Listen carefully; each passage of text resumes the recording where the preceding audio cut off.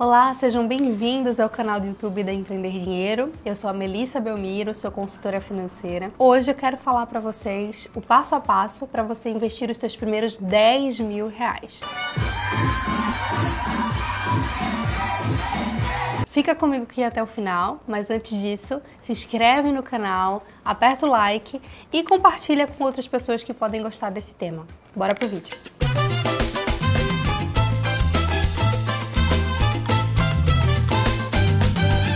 Começar, se você ainda não investe e está pensando em juntar os primeiros 10 mil reais, isso pode parecer um desafio, pode parecer muito distante, mas não é, tá? É super possível. Todo mundo começou de algum lugar. Nunca nem vi que dia foi isso. Se você já investe, já tem lá os seus 10 mil reais investidos ou até mais, não se preocupe. É sempre bom pegar algumas dicas para que você possa aumentar ainda mais o teu patrimônio. Essas são cinco dicas simples que você pode incluir no teu dia a dia e que vão te ajudar demais a investir mais e melhor o teu dinheiro. Bom, para a gente ir direto ao assunto nos cinco passos, o primeiro deles é você ter um objetivo específico para esse dinheiro que você está guardando.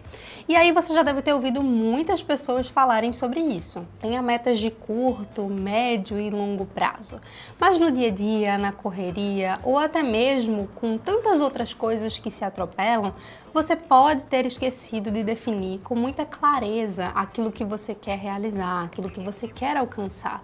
E não é por nada, né? Às vezes a gente tem outras coisas que se sobrepõem, que parecem mais importantes. Filho, carreira, família, né? E a gente esquece de ter os nossos próprios objetivos. Então aqui fica a minha primeira dica para você.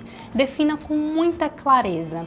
E muita clareza significa ter um prazo específico, o valor que você quer lá no final. Precisa saber o que quer em primeiro lugar, né?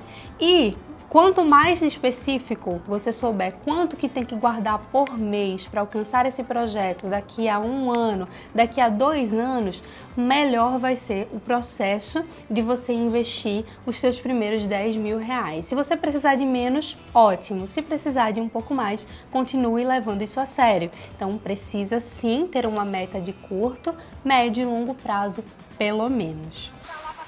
Quer o desenvolvimento da glândula pineal, da célula epífise. A segunda dica também pode parecer muito comum, mas eu aposto com você que a grande maioria das pessoas não faz, que é o famoso pague-se primeiro. Não espere o dinheiro sobrar na tua conta depois que você paga todas as contas, todos os supérfluos, para saber se vai poder guardar dinheiro ou não. E mais do que isso, muita gente deixa esse dinheiro na conta corrente. Cadê seus estudos?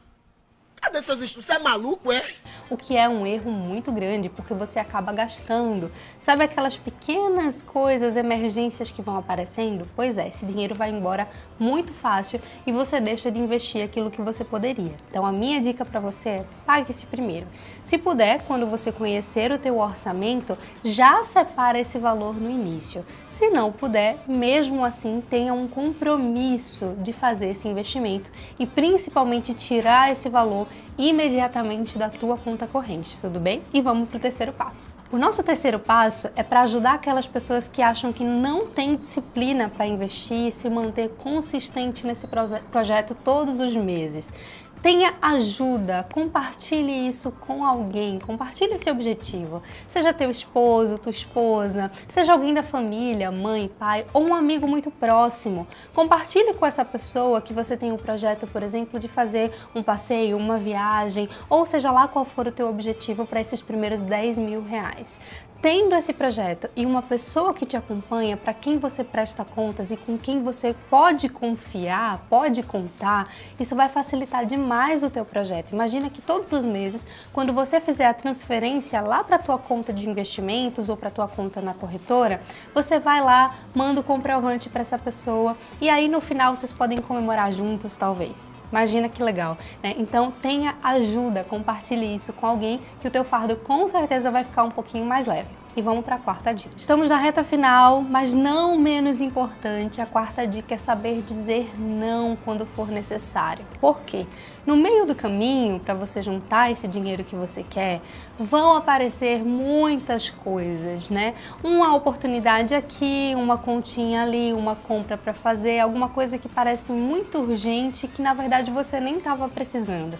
É uma ida ao shopping, uma loja ou até ficar rolando o feed de notícias ali ali no Instagram e aí você com certeza vai encontrar alguma coisa que você vai colocar na frente desse seu objetivo. Então, muito cuidado, saiba dizer não. Quando esse projeto é muito específico, lá na dica que a gente falou atrás, você vai conseguir dizer não porque você tem um propósito para esse dinheiro, tem alguma coisa que você quer realizar que tem mais valor do que aquele consumo imediato. Então, diga não, principalmente se aquilo que você está querendo comprar é para agradar uma outra outra pessoa, para mostrar que você tem aquilo, porque na verdade você não necessitava de fato daquele bem ou daquele serviço. Então diga não e foco nos primeiros 10 mil reais. Moça, Deus é mais. E agora chegamos ao quinto e último passo, mas antes disso, se você ainda não deixou o teu like nesse vídeo, por favor, nos ajuda a continuar é, produzindo mais vídeos aqui para o canal e compartilha esse vídeo com outras pessoas que possam gostar desse tema, tá?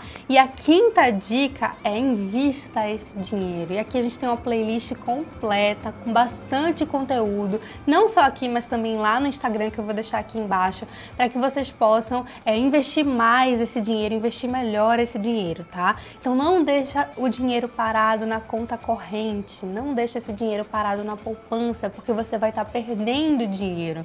Faça um investimento, nem que seja a tua primeira reserva financeira, que eu vou compartilhar com vocês onde investir nos próximos vídeos aqui do canal. Mas por favor, invista, tá? Porque senão você vai acabar gastando esse dinheiro e não vai ter os 10 mil reais investidos no final, combinado? Bom, então eu espero que essas 5 dicas tenham te ajudado a chegar cada vez mais próximo dos teus próximos 10 mil ou dos primeiros 10 mil reais. Se você gostou desse conteúdo, deixa aqui o teu comentário com sugestões para os próximos vídeos. Muito obrigada e até a próxima!